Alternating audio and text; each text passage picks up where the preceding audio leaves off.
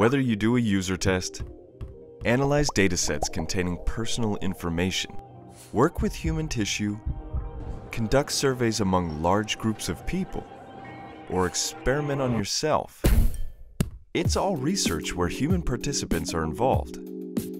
As we work on technologies to improve human lives, humans are involved in our research more often than we might think. And when we work with human participants, no matter in which way, shape, or form, we do so with respect and care. Mm-hmm. We make sure to get a well informed agreement to mm-hmm. not put our participants through any unnecessary stress or danger, and to take care of their privacy and keep their data safe.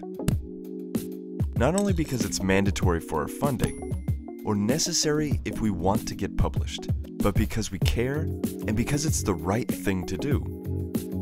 That's why all research plans involving human participants have to get approved by the TU/e Ethical Review Board.